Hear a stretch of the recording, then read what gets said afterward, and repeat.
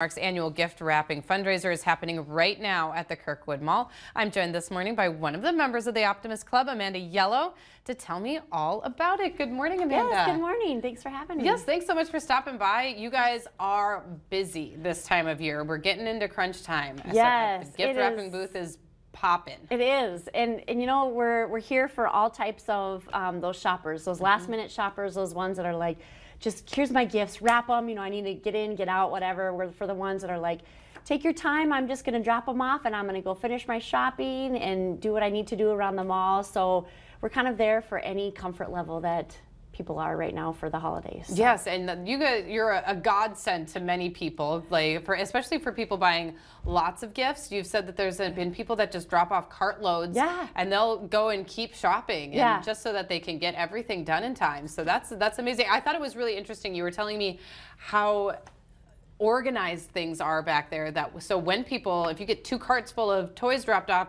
you don't want to send tommy's toy home with johnny. So right. there's a very good way that you guys have things organized back there. Yeah we yeah thank you for bringing that up. We've got a pretty good system where we have little gift tags that we'll put if somebody brings in a large amount of things to be wrapped. We'll want to make sure that you go home with what you brought to us. So we'll kind of give you a little gift tag and that will accompany your gifts. And so um, if you want all of Johnny's in a certain wrapping and all of Tommy's and all of Susie's and mm -hmm. whatever wrapping, we can do that. And then keep all yours together and we put the tags on them specifically so we know when you come back, you've got to redeem your tag to get your your gifts to get you your the gifts you brought. Just yeah. like when you go somewhere with kids, you got to take the kids you brought. That's right. Same thing with the gifts. So, uh, which makes me wonder, like you take all this time to organize, to coordinate the the gift wrapping, the bows, everything like that the cost is fairly nominal. I, it in is. my opinion, it is. Yeah, it's very reasonable. It of course goes on the size of the package that mm -hmm. we are wrapping, um, and then we have pay it forward days as well. Mm -hmm. So mm-hmm. there's different local businesses that have agreed to sponsor a half day or a full day, and then on those days, people can come in. Uh, we've got signage up at the booth so people know before they get there that it's a it's a sponsored day, and they get their gifts wrapped for free. Yeah. So it's just donations that they would want to make to the Optimist Club that goes back to the youth in the community. Yeah, and so let's talk about that. So the Optimist Club, I see that name all over. So what are some things that you guys are involved in when people donate money or when they come and get their gifts wrapped? Where's that money going into our community? Yeah. Our mission is Friend of Youth, so we try to do everything affecting youth in the mm -hmm. community. So the Easter egg hunt that's typically at the Capitol grounds, that's our event that's free to the public to attend where we do 10,000, 12,000 eggs or so every year. So that's one of our fun things. We do a backpack program with United Way mm -hmm. where we stuff some backpacks for, for kiddos there.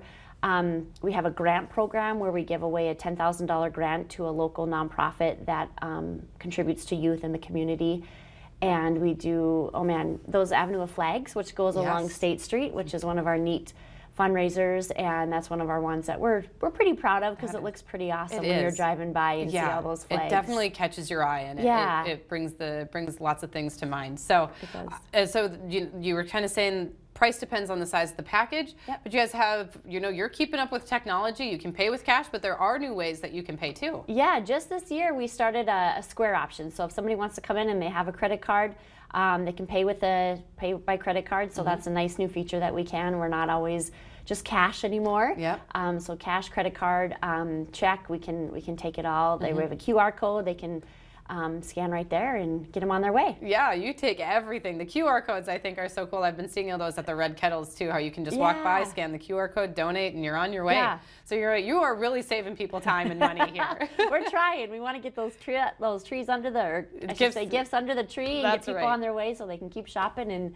be ready and relax a little bit exactly. and not be stressed about wrapping. Exactly. So. You guys are doing so much good for the community, both now and year round. So uh, where do we find the gift wrapping station? That's the one thing we haven't covered yet. Yeah, you bet. We are located across from the old Herberger's location, which is now the Tilt Studio. Mm -hmm. So Kirkwood Mall, right across from um, the Tilt Studio.